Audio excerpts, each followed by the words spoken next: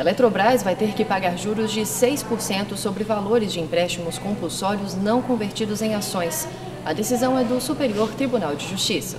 Os ministros da primeira sessão decidiram que os valores devidos pela Eletrobras em razão do empréstimo compulsório sobre consumo de energia elétrica, mas que não foram convertidas em ações, devem ter aplicação de juros de 6% ao ano até a data do efetivo pagamento.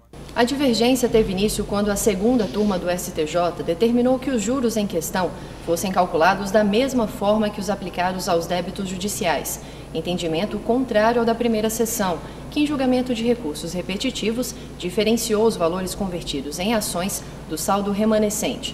Foi considerado que o acréscimo de 6% de juros anual aplicado ao caso está previsto no decreto-lei que altera a legislação de empréstimo compulsório à Eletrobras.